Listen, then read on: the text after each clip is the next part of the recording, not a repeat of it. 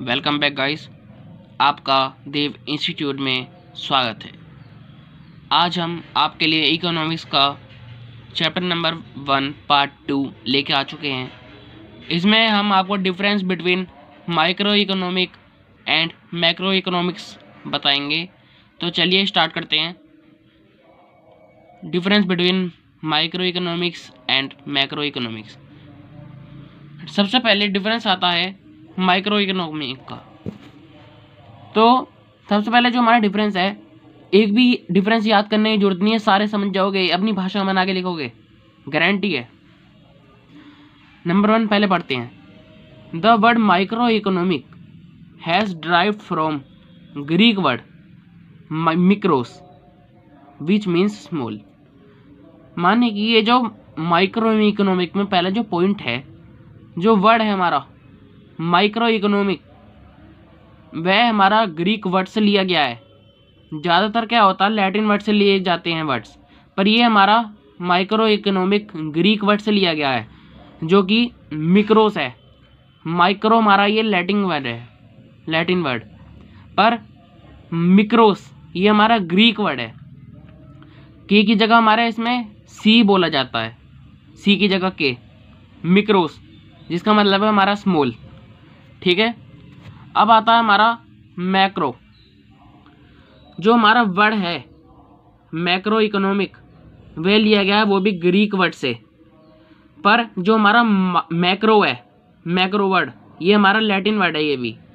और Greek word में इसका मतलब है मैक्रोस मैक्रोस मैंने जैसे आपको बताया था सी की जगह के आ जाता है, और सी की जगह के आ जाएगा हमारा, ये रहा। ग्रीक वर्ड में सी की जगह हमारा के आ जाता है। मैक्रोस, विच जिसका मतलब है लार्ज, बड़ी क्वांटिटी में। ठीक है जी? अब आता है second point it studies about individual economic relation और issue like as house hold form consumer etcetera मतलब ये बताता है हमें एक सिंगल इंडिविजुअल इकोनॉमिक के बारे में रिलेशन के बारे में, या इशू के बारे में, जैसे कि जो हमारे यहाँ हाउस होल्ड फॉर्म कंज्यूमर हो गया, मानिए एक सिंगल इंडिविजुअल अब अब हम अगर मैक्रो इकोनॉमिक की बात करें मैक्रो इकोनॉमिक में हमारा ये पॉइंट है इट स्टडीज़ अबाउट ओनली या ओन इकोनॉमिक ऐसे एग्रीगेट होल इकोनॉमी ये बताता है हमें एग्रीगेट इकोनॉमिक के बारे में, मानी कि पूरी इकोनॉमिक होल इकोनॉमिक या ओल इकोनॉमिक के बारे में, पूरी इकोनॉमिक के बारे में। ठीक है जी? अब आता point three it deals with have a consumer और producers make their decision and depending on their budget and variable अभी एक बार रिवाइज करेंगे, जिसको सुन में नहीं आया। पर इसको समझो, याद मत करो। It deals with a how a consumer ये बताता है कि कैसे कंज्यूमर या प्रोड्यूसर अपने डिसीज़न लेते हैं और वो डिपेंड रहते हैं बजट पर और वेरिएबल पर। यहाँ पे वेरिएबल का और दूसरा मतलब है हमारा component component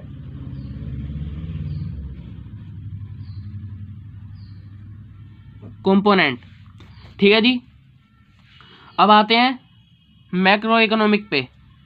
It deals with how different economic sector such as consumer government sector household producers sectors foreign sector make their decisions मतलब मैक्रो इकोनॉमिक में पॉइंट है, ये बताता है कि कैसे डिफरेंट इकोनॉमिक्स सेक्टर्स जैसे हमारे कंज्यूमर्स सेक्टर गवर्नमेंट सेक्टर या हाउस होल्ड प्रोड्यूसर सेक्टर्स या फॉरन सेक्टर कैसे डिसीज़न अपने आप लेते हैं, यहाँ पे जो ये प्रोड्यूसर सेक्टर की बात कर रहा है। प्रोड्यूसर सेक्टर ये हमारा एक इंडस्ट्रीज़ सेक्टर है। क्या है? इंडस्ट्रीज़ इंडस्ट्रीज़ सेक्टर है ये हमारा एक। ठीक है जी? अब आता है इसका फोर्थ पॉइंट आप कोई से, इसमें ज़्यादा से ज़्यादा तीन से चार पॉइंट आते हैं। पर ये छोटे छोटे थे और अपनी भाषा में आप बना के लिख सकते हो तो इसलिए मैंने आपको पाँच पॉइंट लिखवाए हैं। आप कोई से भी इसमें लिख सकते हैं अपनी मर्ज़ी से। चौथा पॉइंट है इसका। The major micro economic variable are price individual consumer demands wages rent profit and revenue मतलब ये मेज़र करता है माइक्रो इकोनॉमिक वेरिएबल को, जो है हमारे price individual consumers demands wages rent profit और रेवेन्यू को। ठीक है जी? अब अगर हम बात करें इंडिविजुअल कंज्यूमर्स की कंज्यूमर हमारे मैक्रो में भी हैं मैक्रो इकोनॉमिक में। डिमांड्स हमारी मैक्रो में भी है। पर इसमें क्या है इंडिविजुअल माने एक अकेले बंदे की या एक अकेले सिटी की डिमांड वे हमारी माइक्रो इकोनॉमिक में आती हैं। और अगर पूरे वर्ल्ड की पूछेंगे तो हमारी वो मैक्रो में आएगी। ठीक है जी? तो अगर आप लिख रहे हो इसमें मेजर वेरिएबल्स तो आप इसमें इंडिविजुअल ज़रूर लगाना। ठीक है जी? अब आता है मैक्रो इकोनॉमिक का fourth point the major variable of macro economic are human behaviours aggregate supply और अनएम्प्लॉयमेंट मतलब जो वेरिएबल हैं मैक्रो इकोनॉमिक के वे हैं ह्यूमन बिहेवियर एग्रीगेट सप्लाई और अनएम्प्लॉयमेंट अनएम्प्लॉयमेंट का मतलब है हमारा बेरोजगारी। जो हमारा बेरोजगारी है, माने जिनको काम नहीं है, बेरोजगार हैं, वह हमारे मैक्रो इकोनॉमिक में आते हैं, माने कि पूरे वर्ल्ड के इसमें पूछ रहा है अनएम्प्लॉयमेंट हमारे पूरे वर्ल्ड की होती है। ठीक है जी? तो ये हमने बता दिए मैक्रो इकोनॉमिक के ह्यूमन बिहेवियर ह्यूमन बिहेवियर माने पूरे वर्ल्ड में जो ह्यूमन्स आते हैं, जितने सारे, उन सबका बिहेवियर एग्रीगेट सप्लाई माने होल सप्लाई पूरे वर्ल्ड की, पूरे इंडिया की, या पूरे वर्ल्ड की सप्लाई ये हमारी एग्रीगेट एग्रीगेट मतलब होल होल या ओल ठीक है जी? अब आता है हमारा फिफ्थ पॉइंट माइक्रो इकोनॉमिक का फिफ्थ पॉइंट जो है, ये इंट्रोड्यूस करा था नेम दिया गया था प्रोफेसर एल्फ्रेड मार्शल ने। डिफरेंस बिटवीन में ये जो नाम है प्रोफेसर एल्फ्रेड मार्शल ने लिखा था। और macro economic John Maynard Keynes ने लिखा था मैक्रो इकोनॉमिक और जहाँ तक करें डिफरेंस में बात सॉरी डेफिनेशन में जो समझाया जाता है, दो टाइप्स की हमारी इकोनॉमिक्स होती है माइक्रो और मैक्रो माइक्रो में उसमें जहाँ तक है, इसमें एक बार उसमें बताया था इकोनॉमिक माइक्रो इकोनॉमिक में, कि एडम स्मिथ ने इसको बताया था और जॉन मैरोल किल्स ने मैक्रो इकोनॉमिक्स को बताया था. पर आप डिफरेंस में लिखेंगे professor Marshall fifth point Adam Smith मत लिख देना। और फिफ्थ डिफरेंस में आप मैक्रो इकोनॉमिक में इसमें जॉन मैरोल टीन्स लिखेंगे। ठीक है जी? तो यहाँ पे हमारे डिफरेंस क्लियर होते हैं सारे। पर अब एक नया पार्ट इसमें हम कर रहे हैं इंट्रोड्यूस जो केवल दो या तीन मिनट का है।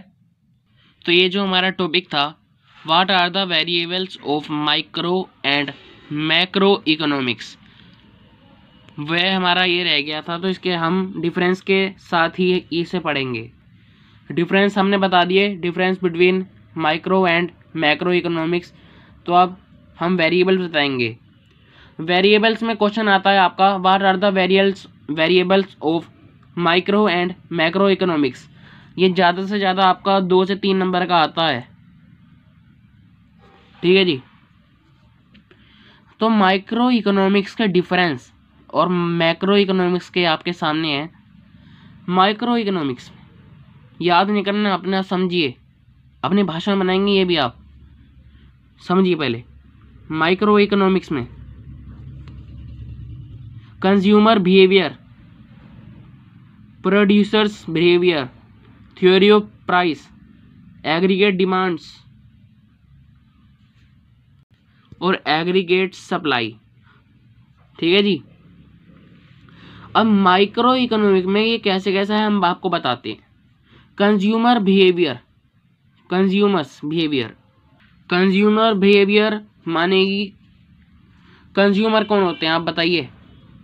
Producers supply consumer demands demands जो करते हैं, उनका behaviour producer supply behaviour theory of price इसमें प्राइस की सिंगल प्राइस जैसा कि आप सूट खरीदने गए। उसका उसने प्राइस बताया। ये एक सिंगल इंडिविजुअल का प्राइस वह थ्योरी ऑफ़ प्राइस में आता है हमारा। एग्रीगेट डिमांड्स जिसको हम एडीबी कहते हैं एग्रीगेट डिमांड्स माने ए एस एग्रीगेट सप्लाई ठीक है जी? अब बात आती है ज़रा हमारी मैक्रो इकोनॉमिक की। अनएम्प्लॉयमेंट अनएम्प्लॉयमेंट माने हमारी, मैंने आपको बताया था अभी, बेरोज़गारी। ये पूरे वर्ल्ड की है तो इसलिए मैक्रो में आई। नेशनल इनकम, आप जैसे वर्ड आ गया, नेशनल। नेशनल माने पूरे इंडिया की, माने पूरे वर्ल्ड की इनकम। ये हमारे इसलिए मैक्रो में आई। इन्फ्लेशन, डिफ्लेशन, जो हमारा, हमारी वो मंदी है, माने जैसे हमारे रेट्स कम होते हैं पेट्रोल पे या डीजल पे। पेट्रोल हमारा इतने रुपए है और डीजल हमारे कम है या कम रुपए है या ज़्यादा रुपए है। जैसे कि ये पेट्रोल और ये डीजल। पेट्रोल हमारा साठ रुपये है, डीजल हमारा चालीस रुपये है। एग्ज़ाम्पल के तौर पे एग्ज़ाम्पल बता रहा हूँ। तो अब ये तो है नहीं, ये परमानेंट इसके रेट हैं। कभी ये अस्सी हो जाएगा, कभी ये ना सौ रुपये हो जाएगा। माने कि कभी घट जाएगा, कभी बढ़ जाएगा। ये हमारे इन्फ्लेशन और डिफ्लेशन होते हैं। इन्फ्लेशन बढ़ना डिफ्लेशन घटना। ये हमारे पूरे वर्ल्ड में होते हैं रेट किसी के घट जाते हैं, किसी के बढ़ जाते हैं तो इसलिए ये। मैक्रो में आए। Theory of income theory of income माने एक मंथ की, या मंथ मंथ की, या फिर पूरे ईयर की, पूरे साल की। इनकम जो टोटल मिला के आपको सैलरी मिलती है, उसकी इनकम ये हमारी इसमें आती है पूरे वर्ल्ड में। माने पूरे वर्ल्ड की इनकम थ्योरी ऑफ़ इनकम ठीक है जी? हमने आपको वेरिएबल बता दिए, आप इसमें से कोई से भी तीन से चार याद कर सकते हैं। अब जिन्होंने हमारे चैनल को सब्सक्राइब नहीं किया है प्लीज़ हमारे चैनल को सब्सक्राइब कर लीजिए, जिससे हमारी नई वीडियोस की नोटिफिकेशन आपके पास टाइम टू टाइमली पहुँचते रहे। तो चलिए, इस वीडियो को एंड करते हैं। धन्यवाद।